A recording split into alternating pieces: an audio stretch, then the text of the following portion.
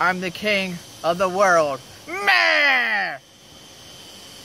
Ladies and gentlemen, you have not seen me in a while. And that's because I had to beat Joey Adams from the King of the World Man Championship.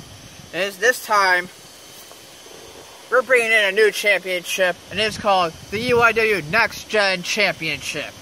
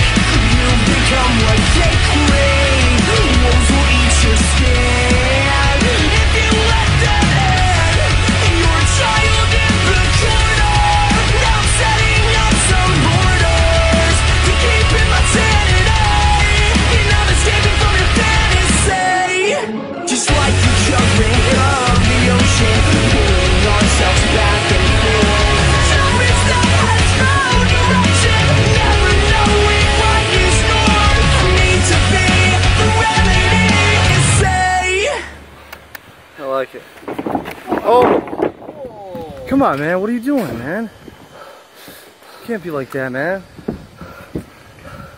Dude, check him, Aaron. Check him. Hey, you good? Upgrade. Completed.